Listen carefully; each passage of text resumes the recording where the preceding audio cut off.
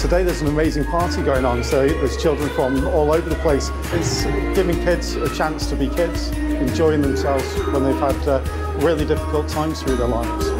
We need more of these things. There are kids going through really, really tough times, and this is a, a chance for them to get together with family, with friends, and just be normal kids.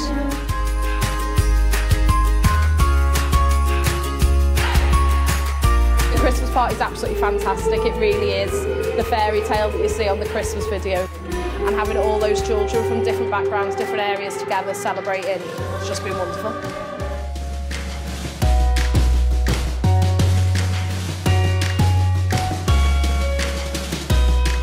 As soon as we walked in, the children were delighted to see Elsa and Woody and they've made them so welcome, all the children all coming together from all the different organisations and it's just a, a, it's an electric atmosphere, it's absolutely lovely.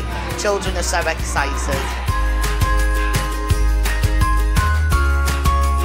It brings so much joy to children and it doesn't matter where the children have come from. Bringing all the children together for a, a happy occasion, they're just having fun and that's just, that's what kids should be doing.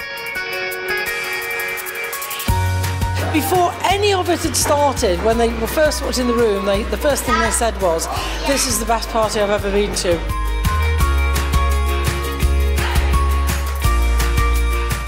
It's been great, as I say, like it's, it's an opportunity to speak to some of the other funded organisations and seems to have lots to go on. The entertainment's being good, food's being good, so it's all, all a plus.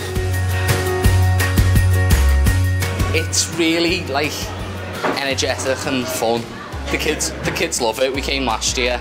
Everybody seems to be lovely and enjoying themselves and I'm really proud from our foundation's point of view that we were able to, to lay it on for all the kids that's come from all over our region.